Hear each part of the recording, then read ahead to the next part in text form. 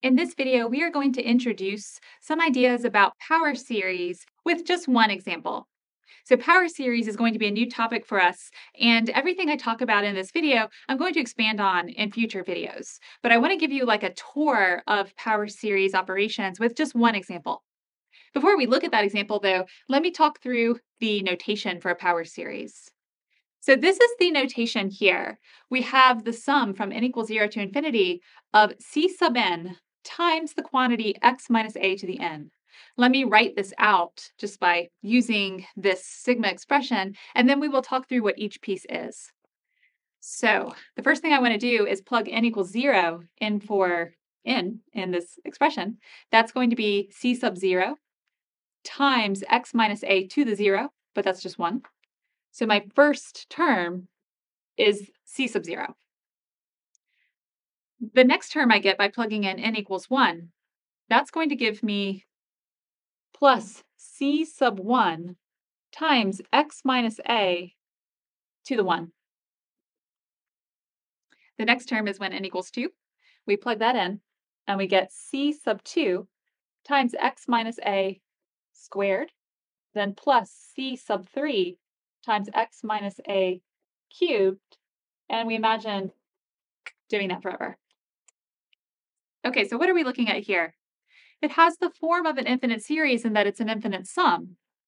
But this does not look like the type of series that we have studied so far, because every time that we looked at an infinite series up to this point, what we wrote out when we expanded it uh, was just a list of numbers that we were adding together. So the notion of convergence was, does this list of numbers, if we add it all up, does it add up to a number? Here, we have an expression involving x. This is the same x that you're used to seeing in calculus, if you will. It's the independent variable.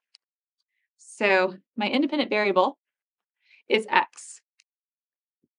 The notion of convergence, which we will keep talking about, but let me just mention right now that we will say that this series converges when we are choosing an x value so that if I plug in that value everywhere I have x, like I substitute in 0.3 for x, it generates an infinite sum of numbers, which adds up to something finite.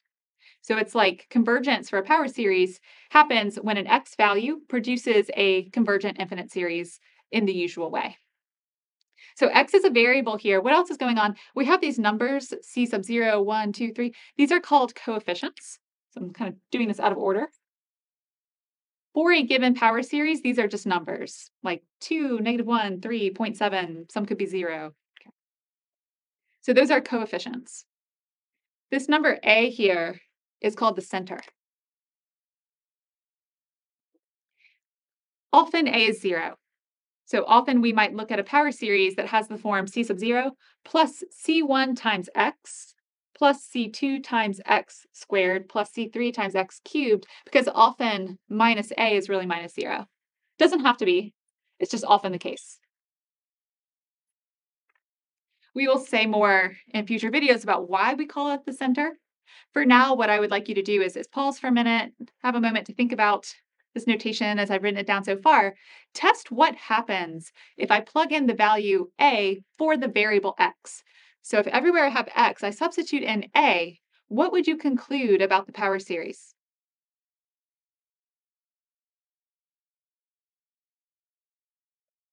What you probably realized is that if I plug in a everywhere I have the independent variable x, all of these x minus a terms become zero. So our uh, series would add up to just the leading coefficient c sub zero. So if x equals a, series adds up to that coefficient c sub zero. So every power series at least converges at one value of x. So here's an x value that causes this sum to add up to something finite. In fact, the leading term. What we will look at is the question, are there other values of x that also cause convergence? So is this it? Probably not, because otherwise it wouldn't be a very interesting thing to study. Uh, what other types of x values might cause such a power series to converge? We will see that with our example. So we'll talk about that with the one example that we're going to look at today. The last remark I want to make is that if we're interested in when our infinite series adds up to something, we might want to look at the partial sum. So what are the partial sums for a power series? Well, the first term is just this constant. Then the next partial sum would be these two terms. Notationally, it's more convenient to think of the sum of the first two terms as s sub 1. And then the sum of the first three terms, sorry about my really crooked line here, is s sub 2. So busy thinking about my line, I wrote the wrong number. s sub 2 so that this subscript matches this power. That way, this, the third partial sum goes through this cubic term up here. If I just took that third partial sum, I just said it's a cubic. It's a cubic polynomial.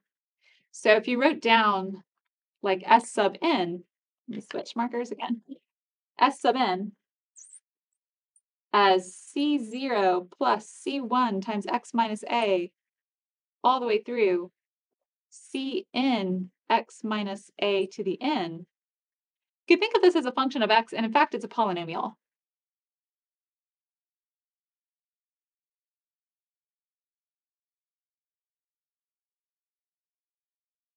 So partial sums for any given power series look like polynomials. Now, assuming that this sum goes on forever, so that I always have more terms to add, the partial the power series itself is not a polynomial. Okay, so this is some presumably infinite sum that we're doing here, but the partial sums are polynomials. Okay, what we are going to do now is take the most classic example of a power series. And one of the questions we want to answer is, for what values of x does that power series converge?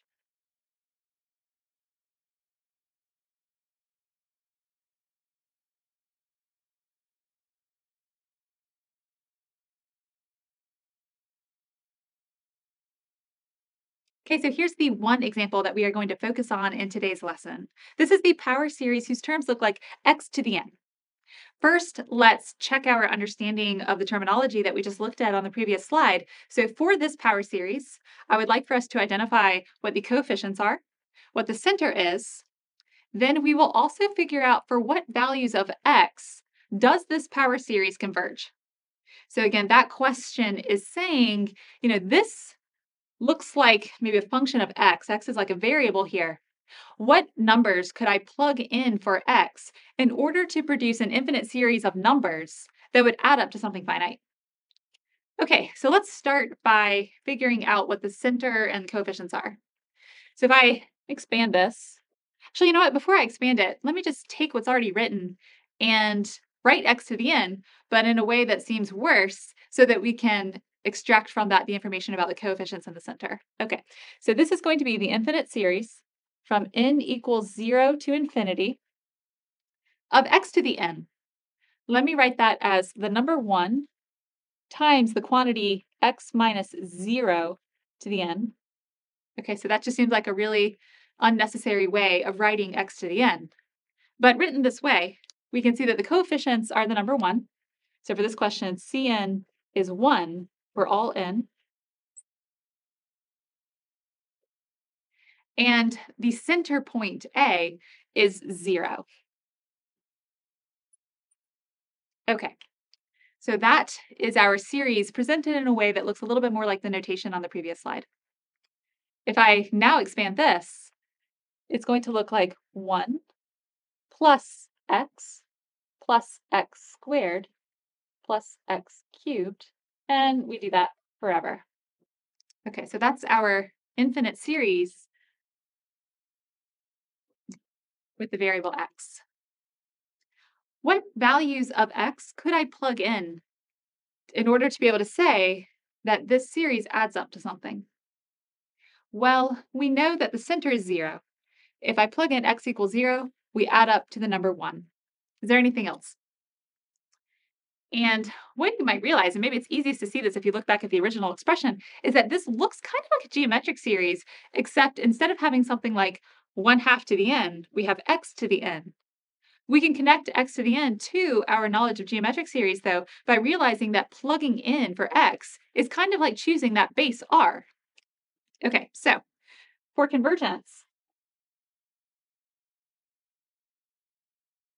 convergence. Consider letting x equal r, where r we think of as a number. Okay.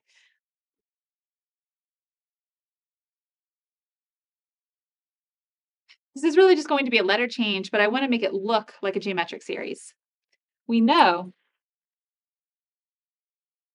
that the series that looks like r to the n from n equals 0 to infinity converges. And not only converges, but I can actually tell you what it converges to. That's something very special about geometric series. This adds up to the number 1 over 1 minus r if that number r is between negative 1 and 1.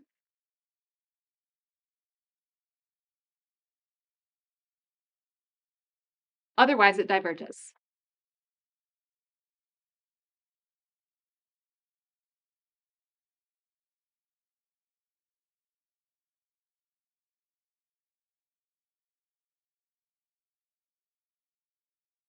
Okay, so now we have stated when this series converges in terms of R, but all I did was just change letters to make it look more recognizable. So going back to the way our series was presented to us originally, we have the same conclusion. This series converges whenever x is between negative 1 and 1, otherwise it diverges. We can call this an interval of convergence.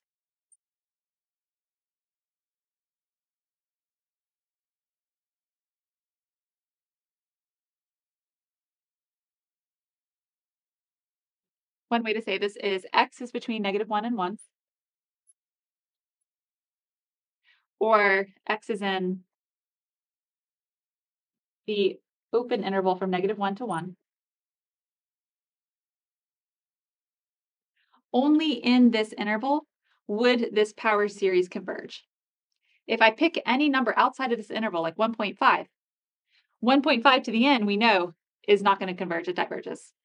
So this is the interval of convergence, and notice that it is symmetric about the number zero. So I go from negative one to zero to one. So it's it's one unit to the left of zero and one unit to the right of zero. So this is an interval whose center is this number zero.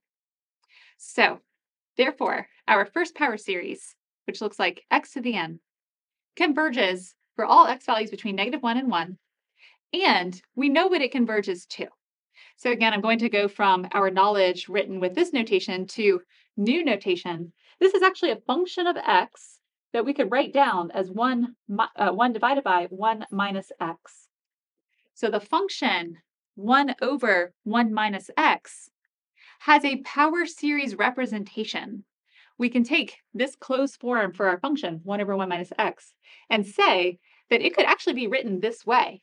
So this function is equivalent to this infinite series for all x values between negative 1 and 1.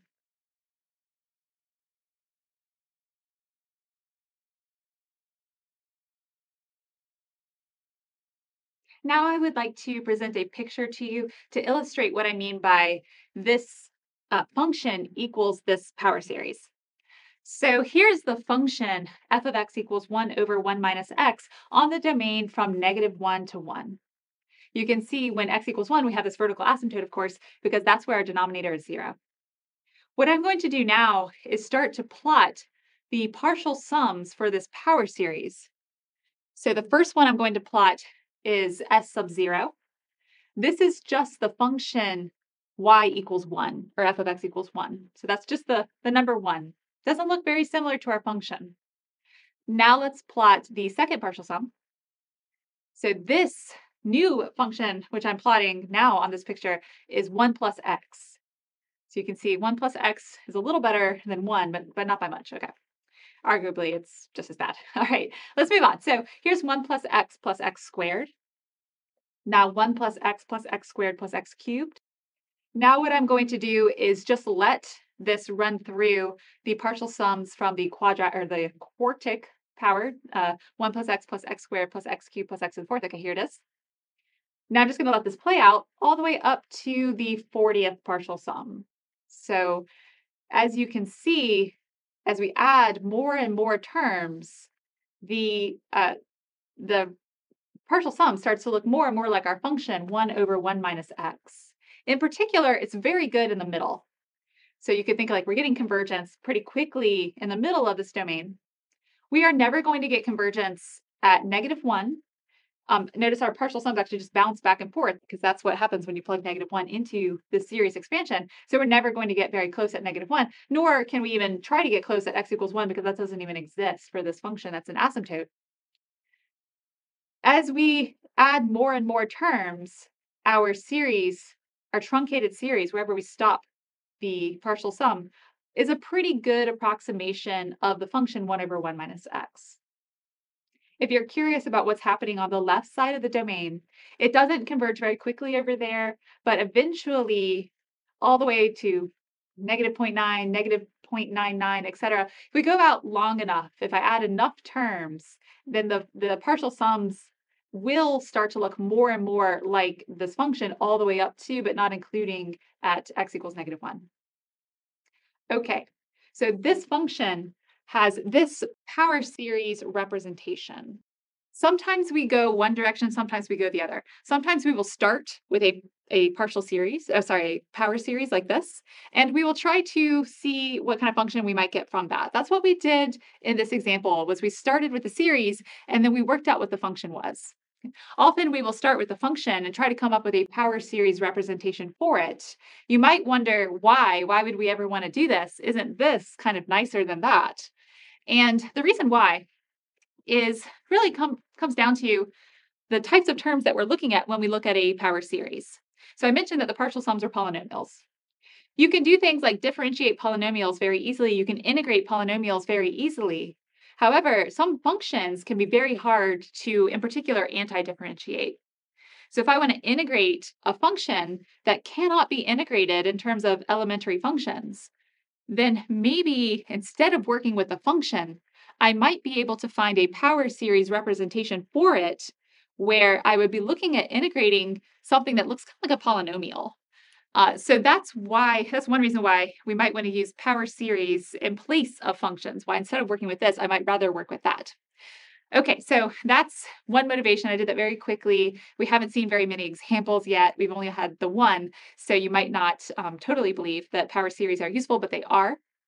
So I'm going to wrap this up here. But in the next video, what we will do is start with expressions that look like this. So we will start with functions. And from functions, we will try to write down power series representations.